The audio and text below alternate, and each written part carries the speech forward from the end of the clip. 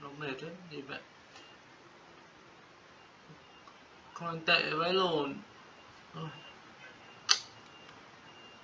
rap nữa. Cái mẹ